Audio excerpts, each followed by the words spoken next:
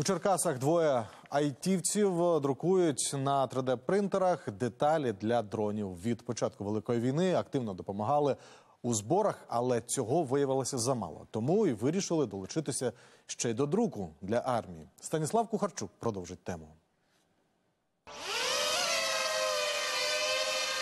Дрони, як ударні, так і розвідувальні, зараз чи не найголовніша бойова одиниця на фронті. Один квадрокоптер іноді здатен зупинити атакуючу ворожу колону. Та здебільшого ця техніка в наших вояків і досі волонтерська. Навіть виробництво найпростіших fpv дронів держава ще не поставила на потік. Так само, як і випуск боєприпасів для них. Вони теж переважно кустарного виробництва. На практиці вже скільки разів показували, одного достатньо, щоб роз беху. Пух і прах. От одного. От звичайні морковки перероблені на наші.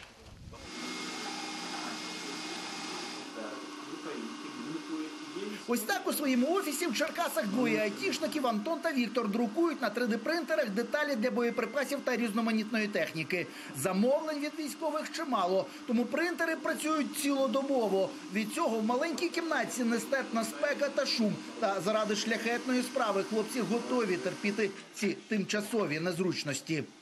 Є багато чого дрібненького, якісь отакі от штучки, теж щось, щось потрібне. Ось такі маленькі, також запальнички, ми їх називаємо. Є просто постовички.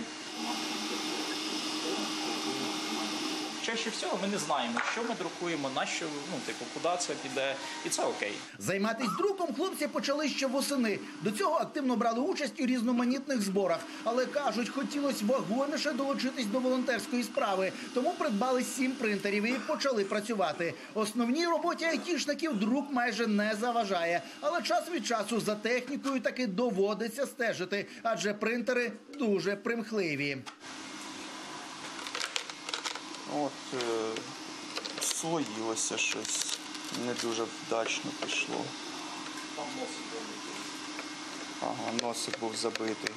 Значить, погано клався пластик, погано прилипав. Всі замовлення на деталі та ескізи моделей хлопці беруть на всеукраїнському волонтерському порталі Друк Армія. Там понад 4 тисячі учасників друкарів, які також придбали 3D-принтери і цілодобово друкують замовлення військових. Та навіть такий потужний волонтерський рух не покриває всіх потреб армії, каже Антон. Друкарів потрібно в рази більше. В принципі, нічого важкого немає, є нюанси, але вони в процесі друку з ними розбираються. Як у всьому, в принципі, нічого складного тут немає. Це не якісь космічні технології, як багато хто думає. Також в друкармії є школа, тобто є окрема сторінка, там де розписані основні моменти.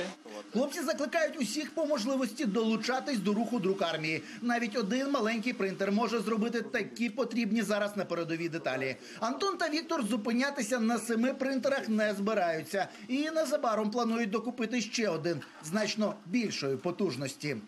Станіслав Кухарчук, В'ячеслав Ромадан. Подробиці телеканал Інтермарафон. Єдині новини.